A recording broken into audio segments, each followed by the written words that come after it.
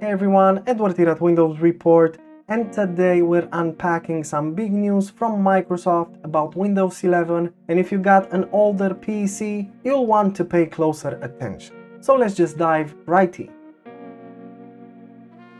As you might know, Microsoft is gearing up for a huge release later in 2024 and that's the 24H2 update for Windows 11. But here's the twist. This update might affect a lot of PCs that in the past used to bypass the requirements for Windows 11.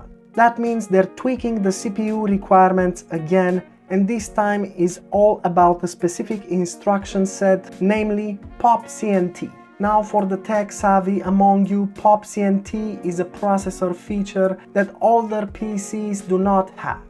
What does this mean? Well, it means you won't be able to install Windows 11 anymore if you do not have this instruction. Now, if in the past you were able to bypass the secure boot and the TPM 2.0 features, this might represent an inherent obstacle in installing Windows 11 on older PCs. So why is Microsoft doing this? Well, it's all about pushing forward, optimizing for security, efficiency, and let's not forget paving the way for new features that rely on more recent hardware capabilities. We're talking about improvements in performance, security enhancements, and possibly preparing for an AI-centric future with Windows 11. This move could make Windows 11 smoother, more secure and more capable, but it also raises questions about hardware obsolescence and what that means for users holding onto older devices. So what can you do if your PC is on the other side? Well, don't panic because first of all, there's quite a lot of discussions about these new updates and there might always be a solution hanging around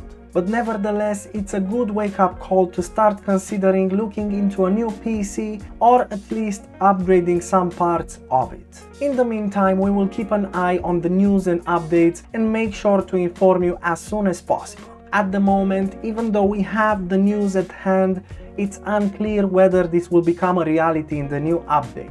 And that's it. If you enjoyed this video, make sure to hit the like button and subscribe to our channel for more quality content. Thanks for watching.